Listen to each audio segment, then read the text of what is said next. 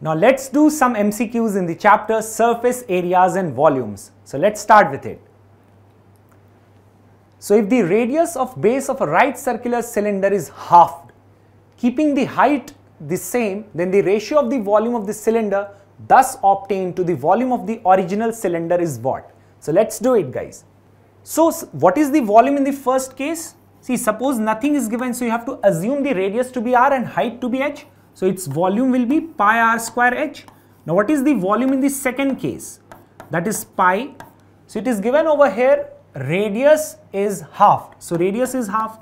So it will be r by 2 keeping the height the same. Height you are keeping the same. So you can write it like this pi r square h upon 4. Can we do that like this over here? Now what is this pi r square h is nothing but volume in the first case.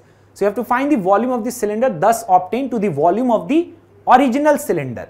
So basically uh, you have to find over here volume thus obtained to the original cylinder. So it means can I say it is 1 is to 4? So the answer is 1 is to 4. I hope it is clear to you. Let's take the next question. A sphere of diameter 13, 18 centimeter is dropped into a cylinder, cylindrical vessel of diameter 36. So you can see whenever you get diameters, just change them to radii. So the radius over here will be 9 centimeter. Suppose this is R1 and radius over here will be 18 centimeter, right? Just change these values. Partly filled with water, if the sphere is completely submerged, then the water level rises by. So you see the rise in the water level, the amount of water which has risen is equal to the volume of the sphere dropped in it. So and see the volume of water which is raised over here, it is equal, it is cylindrical, right? So it is pi r square, r over here is 18, so 18 square and rise in water is suppose h, yes or no? Now this is equal to the volume of the cylinder uh, sphere drop. So it is 4 by 3 pi, radius is 9, 9 cube over here. So you see you can cancel out pi over here, right? So what is the value of rise in the water over here? So this is 4 by 3 into 9 into 9 into 9. Never multiply over here. In the very first step, it will make it very complex otherwise. So you see over here, we'll do it very quickly. So 9 2s are 18, 9 2s are 18. 2 2s are 4 over here, 3 3s are 9. You see everything got cancelled out easily. So the answer is 3 centimeter over here. I hope the question is clear to you. Let us take the next question.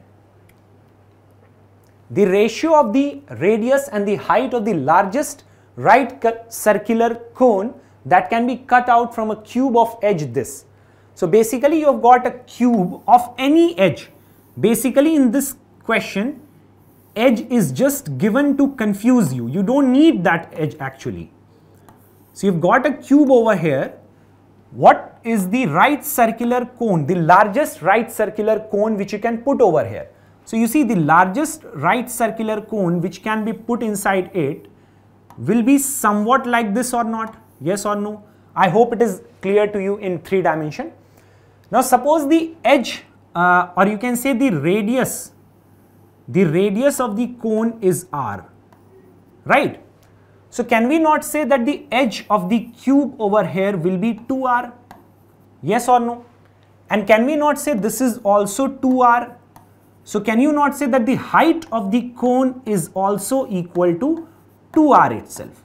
Yes or no? So height is 2r and radius is r. You have to find the ratio of the radius and the height. You have to find the ratio of the radius and the height. So it will be r upon 2r. So the answer is 1 by 2 in the form of ratio it will be 1 is to 2. I hope it is clear. So this value is just given to confuse you. So it is irrespective of the length of the edge of the cube. Let us take the next question. The surface area of a sphere is this, you have to find its radius. So what is the formula to find the surface area of a sphere? that is 4 pi r square, right? Radius is not given. Suppose let's assume it to be r. This is equal to 616 and you have to find its radius. So let's simplify it. If nothing is given, you have to take pi is equal to 22 upon 7 only into r square. This is equal to 616. So what is r square over here guys? It is 616 into 7 divided by 4 into 22. So let's simplify it. See 11 2s are 22, 11 5s are 55, 11 6s are 66. Now you see 4 2s are 8, 8 7s are 56. So this is nothing but 7 square over here.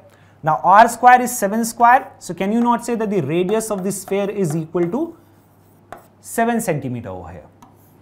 I hope this question is clear to you. Let us take the next MCQ. Volume and surface area of a solid hemisphere are numerically equal. Solid hemisphere over here. so it will be somewhat like this guys. Radius r. So volume of a hemisphere is what guys? 2 by 3 pi r cube. 2 by 3 pi r cube. It is equal to its surface area, right? Now surface area of a solid hemisphere is 3 pi r square and that of a hollow hemisphere it is 2 pi r square. Now this is solid. So it will be 3 pi r square, right? So you can cancel out pi over here. Don't cancel r because you'll get two values basically. So this is 2r cube that is equal to 9r square.